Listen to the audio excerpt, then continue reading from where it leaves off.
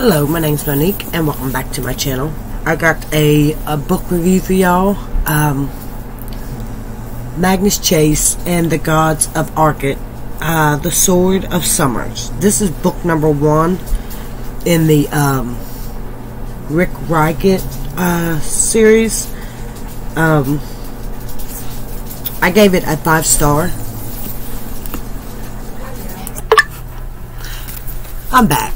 Um, but um, I gave this book a 5 out of 5 stars. Um, it's about uh, Magnus Chase, and um, it's about a world of um, wolves and um, wolves and um, let's see. Max Bane has been has seen his share of trouble ever since that terrible night two years ago when his mother told him to run. He he has lived alone on the streets of Boston, uh, surviving by his wits, uh, staying one step ahead of the police and town uh, officers. One day, Magnus learns that, uh, that someone else is trying to track him down, his Uncle Ralph. And a man his mother had always warned him about.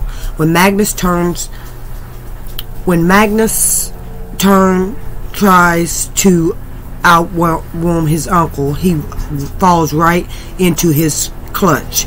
Ralph starts rambling about Norse history and Magnus' birthright, a weapon that has been lost for thousands of years. Stories about the gods of Ark, the wolves, uh, doom uh, bubbles up from Magnus's uh, memory, but he doesn't have have time to consider it all before a fire giant attacks the city, forcing him to choose between his own safety and his lives of, of hundreds of innocents.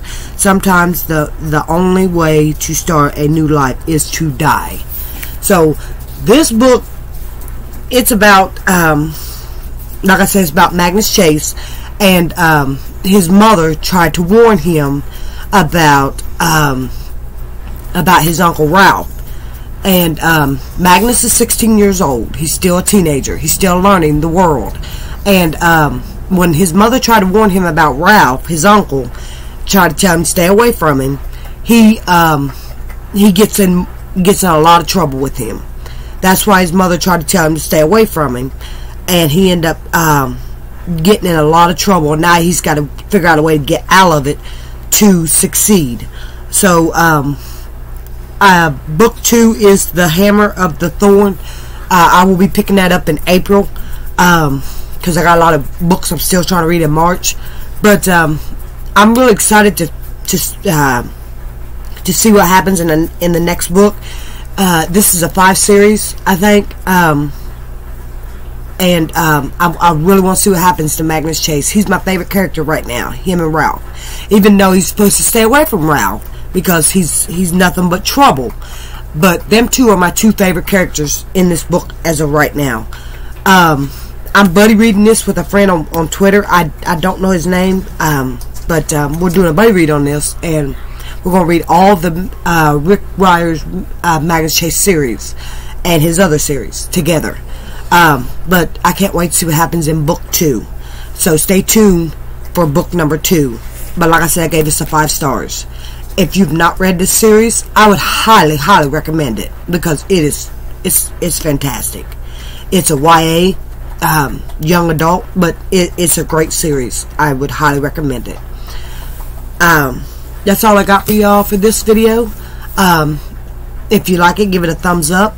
Uh, hit subscribe button and hit that bell button to be notified every time I upload. And I will see you on my next video. And happy reading. Bye.